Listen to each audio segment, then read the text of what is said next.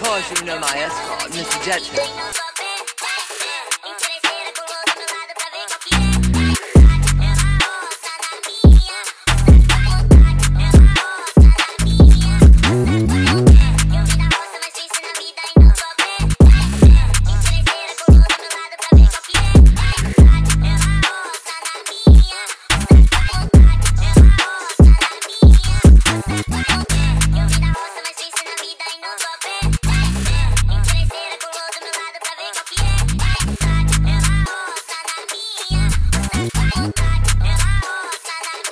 Eu vi na roça,